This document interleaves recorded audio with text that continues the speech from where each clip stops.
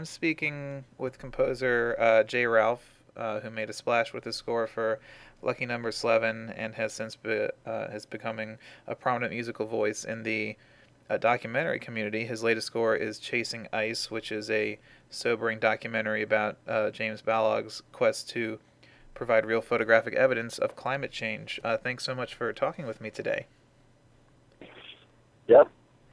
Uh, so, uh, before we talk about Chasing Ice, uh, I wanted to ask you what made you want to become a film composer and how did you uh, get into music?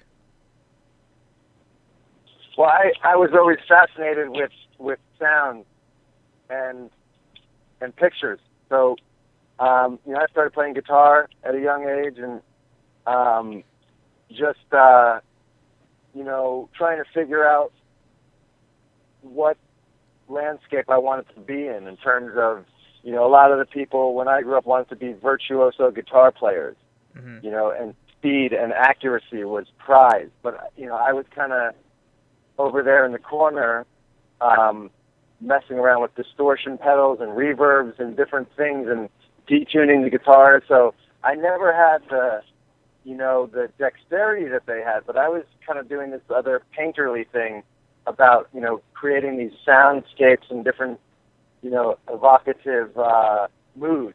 And um, I don't know and then I kind of started you know messing around with cameras and I went to NYU I thought I wanted to be a filmmaker but the amount of discipline and time that it took to make those you know movies from script to screen you know you're talking years and years and years it just was not kinetic enough for me not not you know enough of a live wire by the time the movie's done your whole perspective on on many things and, and opinions on things is so different. So it just seemed kind of, uh, you know, uh, a delayed gratification maybe or something. I don't know.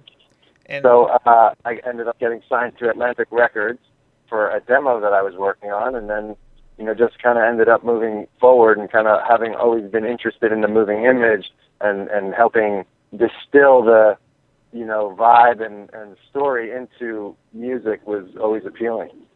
And uh, I was reading you're you're completely self-taught, right? You have no formal training.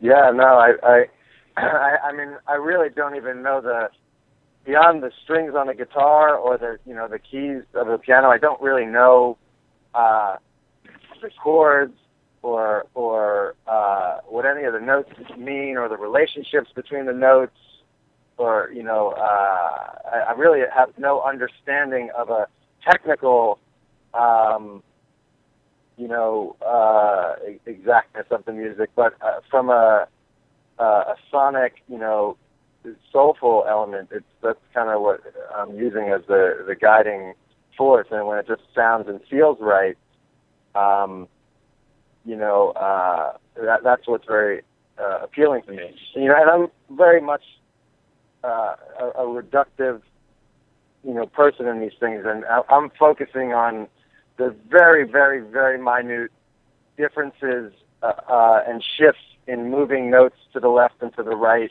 and changing velocities subtly, and um, you know, really examining the space in between the notes to really uh, find out where the, the tension and gratification is uh, in these compositions, and that, that's really what I'm focusing on you know, in terms of minimally reducing to the rawest essential core, you know, uh, the feeling. Mm-hmm. And you've done, I mean, you've done some amazing work in documentaries, uh, uh, such as The Cove, which I really loved, and uh, Chasing Ice, which I, I, saw and, and was really uh, blown away by that as well. Um, how do you approach a documentary versus a, a fictional narrative? Are there any differences to you in terms of what the musical approach should be?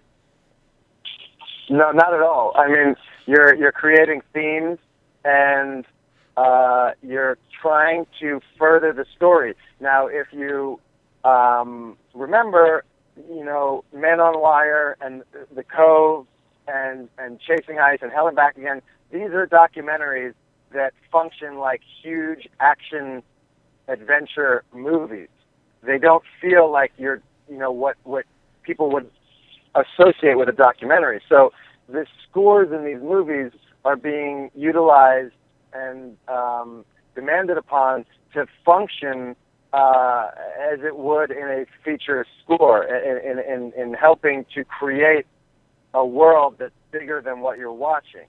Um, you know, so I feel that, the, the the trilogy of those films, uh, Man on Wire, and The Cove and Hell and Back Again, are, are huge milestones in documentary filmmaking from the director's, uh, you know, visions because they further progressively with each film went, you know, changed documentary and, and added uh, a new experience. Like when you have Man on Wire, you have these three distinct sections. You have talking heads, and you have reenactments, and you have historical archival footage. Right. Now, right. the way that had edited, edited everything together and worked on that, he almost made it so that the the feeling and the three the three sections, um, you know, were were uh, indistinguishable. You know what I mean? Mm-hmm. Yeah, yeah. You know, but but you still have like a, a you know this recreation you know element to get some of the essence of what it was like to be there. And then comes along the cove, and the cove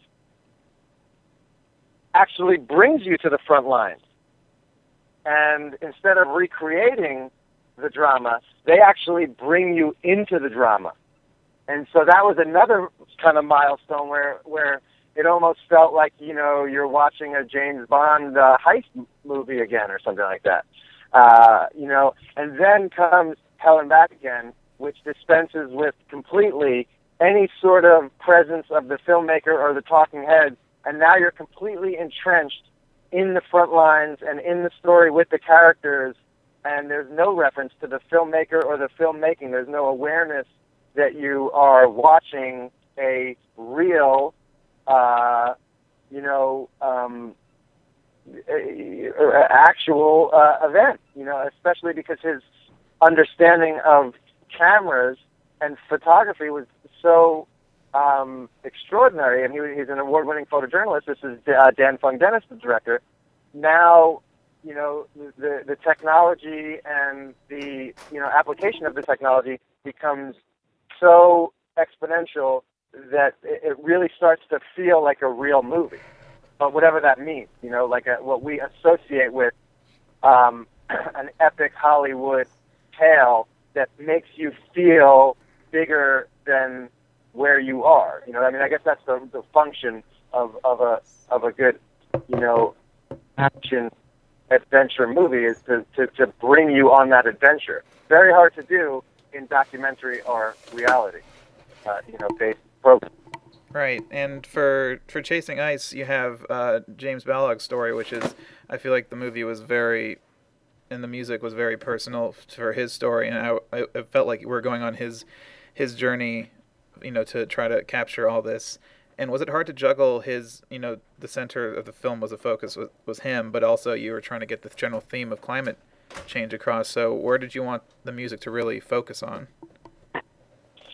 I mean, you know, I'm just kind of always expanding and contracting the themes and the purpose of the movie and the purpose of the score to, to try to be completely united and, and symbiotic.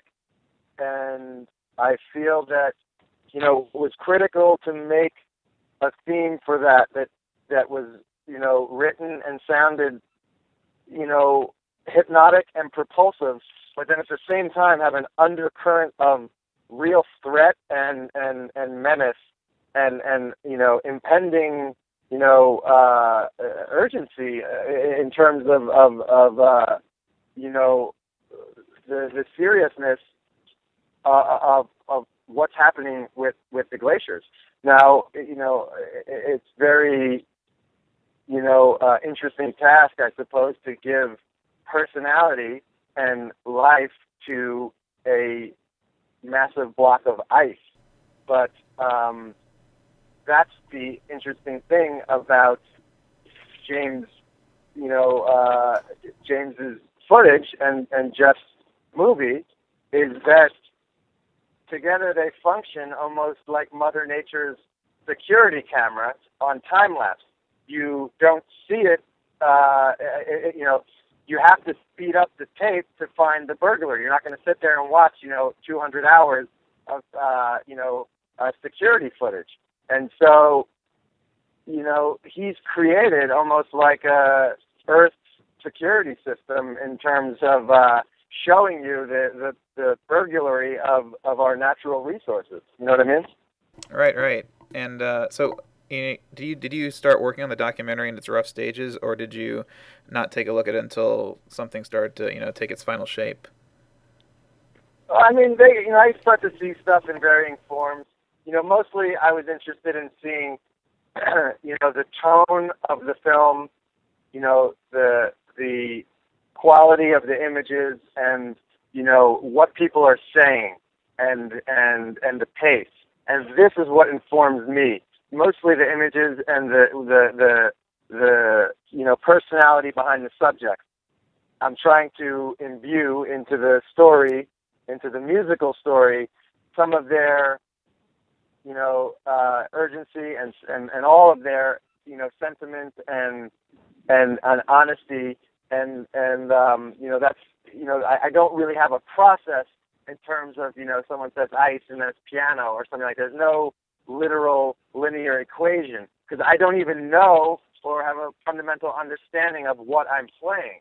It just seems natural, and and you start there. You know, I start looking at the images and the colors of the images, and then I start to the fingers start to make patterns, and and then I I start to try to, you know, build upon that and then reduce upon that, you know, to, to until it, it it sounds like what it looks like. Right, right, and. uh did did working with Jeff? Uh, did he give you any specific instru- instructions for what he wanted from the music, or, and how was it like working with him as a director? I mean, he's great. I mean, you know, that's one of the other main reasons I like to work with documentarians because they really, if these are like real, real filmmakers risking their life, risking their money. It's not studio filmmaking. It's not, um, you know, this this is this is real people's time, you know, uh, and and and risk. And so they really respect all of the participants that are involved in every facet of the process. And I think that, um, you know, I had worked with Paula on The Cove together, so she knows my work, and they were they had appreciated what I've done on the other movies, and I think, you know, you know, I say let me just, you know, take a path of what how I think it should sound, and then let's you know, we, we, we sit down and discuss, you know, before I do that, we sit down and discuss kind of what I'm thinking, what he's thinking, and then, you know, I said, let me just take an initial pass, because you can never, you can never get back the first pass. The first pass is the initial reaction of whoever you're working, whether it be an, you know, an actor's first take or a cinematographer, you know, the, the once you start to become uh, one with the project, your perspective can and often does change from that initial gut reaction as to what it should be like. so there were different things throughout the period of working where Jeff, you know, uh, still felt it should be something different. And, you know, I'm happy to explore that with him, you know, because it's his movie. Mm-hmm. It's his vision. I am there to help him. If I want to make a record, I'll make a record uh, I'm very str- I feel very strong about what I write and what I do. It would be unfair of me to impose the absolute necessity to use the cue as it is written, because um, you know it just wouldn't be fair. That being said, I have a very strong opinion of how it should be, and so you know unless Jeff really feels very strongly about it and, and we have a good discussion, you know I, I really don't like to, to change things.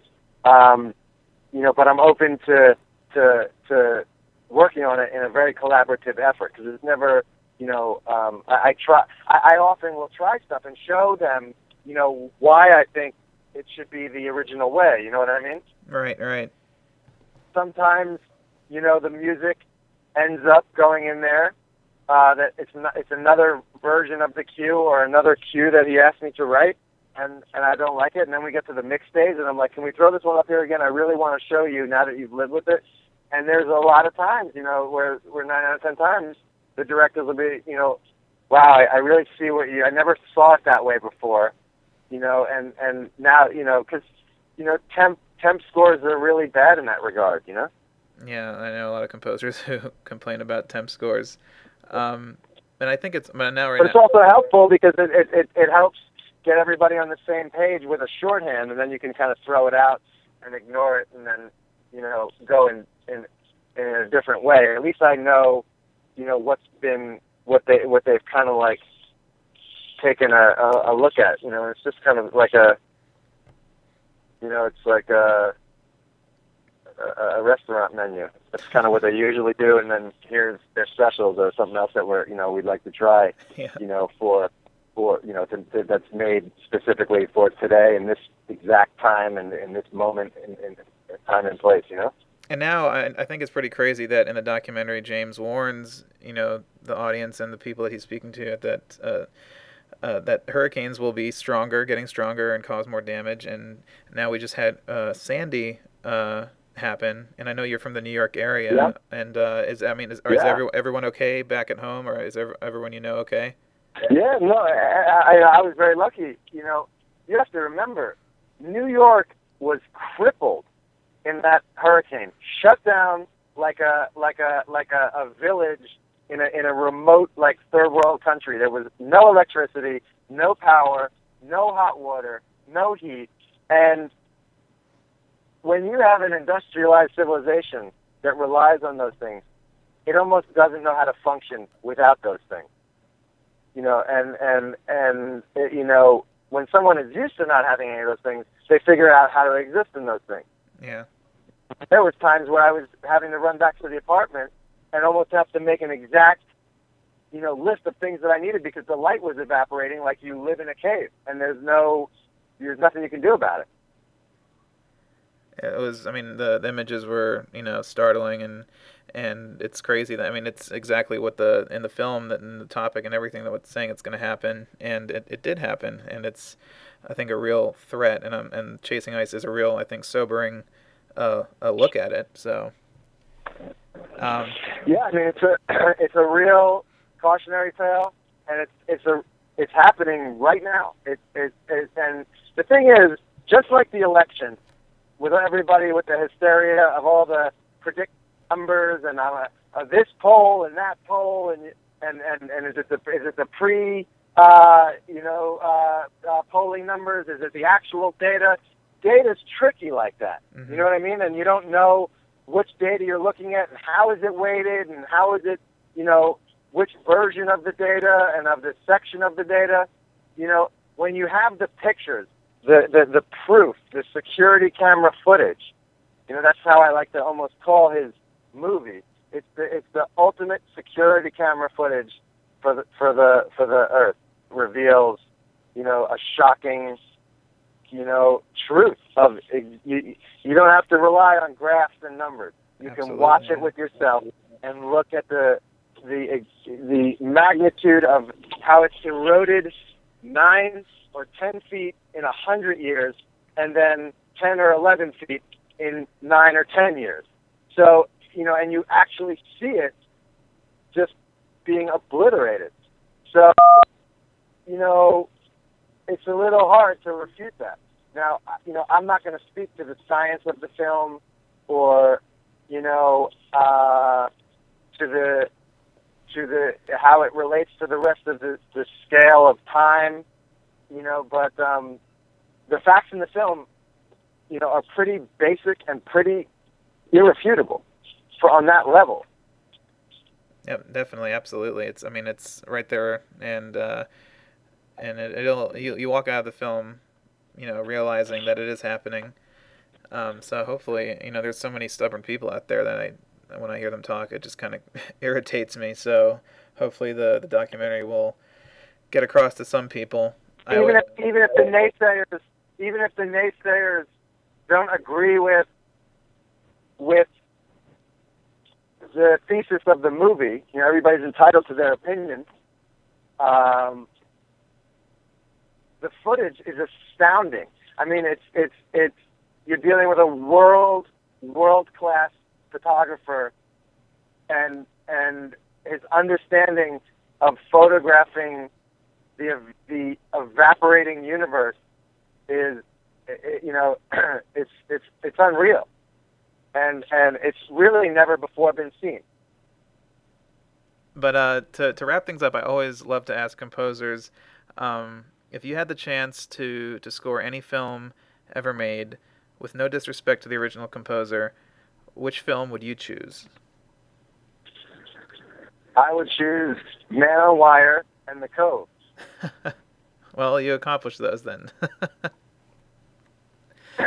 yeah, I mean, I don't. I think everything that's being done, you know, is is is the right one to do at, at that at that you know f- with that collaboration. You know, I I um, you know, I, it would be hard to imagine um, Indiana Jones or or or Schindler's List or Fargo without the uh, original scores or I mean they become characters of the film so you're asking I mean, it's you know the abstraction of that is you know why don't we just add other characters to the movie because they become you know so synonymous with that you know. But I can say in a different way, you know, it would be very interesting and and I, I would very much so like to work on something that has these grand things, uh, you know, and um, you know these these grand images and stories that you know um, are not uh, you know um, you know uh, nonfiction, but it, they, the they're they're very so few and far between. You know uh, you know something epic like There Will Be Blood, um, you know, or, or something very personal like Buffalo '66.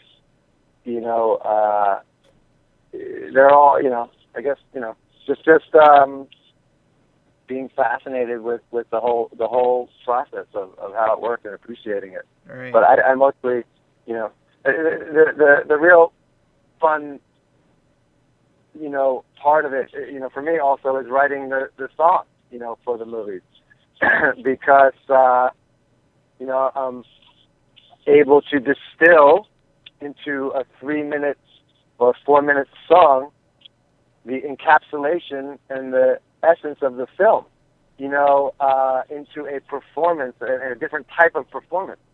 And, you know, Scarlett, you know, Scarlett Johansson sings the song uh, in a duet with Joshua Bell, violinist, uh, for the end title song in the movie, and her performance is just earth-shatteringly haunting. I mean, it's you know, she's a she's a really a, a, a, a, an incredible, incredible singer, and and Josh is just you know a monumental talent, and and his understanding of of that instrument and his ability to control the exact phrasing and tone and fragility is is like you know no other you know. And uh it was a real treat and and honor to be able to try and write something that took the themes of the film and the urgency and um, you know uh, uh, uh, uh, you know authority of the of the of the glaciers. I mean, it's real. You know, it's a real. It's it's it's it grabs you by the neck and doesn't let go. The footage, mm-hmm. as well as the, the, the the result of the footage and what's happening as a result of it. You know, what's behind the footage it completely you see the images and it, it's it's like uh you know literally takes you and, and won't let go and i wanted to create something that enabled the audience at the last moment to completely be transfixed and absorbed by the imagery in this blanket uh, of of of of uh, you know, lyric and tone and, and create this meditation for people to really reflect and think about what this means to them and, and try to write something that would help provoke uh, thought and discussion, um, you know, uh, to, as a companion um, to the film. And I, I really do think he succeeded. It, it did did exactly that. It, it, the images and the sound working together created this kind of a transient you know fixation for me as an audience member just to reflect on it and, and absorb it but um, thank you so much for your time today. I really appreciate it. I, I enjoyed the film, and uh, it was a great pleasure to talk to you today. Well, it's a, it's a pleasure to talk to you. I really appreciate you taking the time, and it's always a good thing when you're talking to someone who has the same name as an epic Bob Marley record. well, Mr. J. Ralph, uh, thank you so much. And yeah, I know, I know my name is yeah, very epic, but it's my theme song. I like to play it as my theme song when I enter rooms. So. exactly. Well, I mean, Bob Bob knew it was a good name, so I mean, you know, you're, you're already off uh, in, a, in a great position.